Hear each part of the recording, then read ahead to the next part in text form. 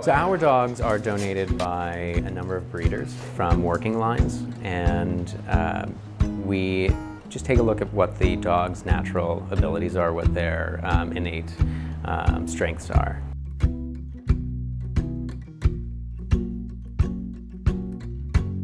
We have law enforcement dogs, urban search and rescue. We do some imprinting with uh, bomb detection, some early drug detection. In fact, our cancer study was interrupted briefly so that somebody could grab the pseudococaine um, for that training. We also do the medical alert, so that's the diabetic alert training, and then the ovarian cancer detection study that you observed.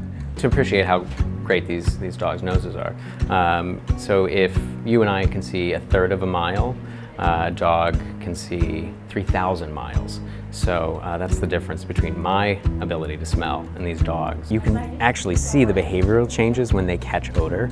Yes. Good girl. I am consistently amazed at their ability to do this work. It's, it's truly remarkable.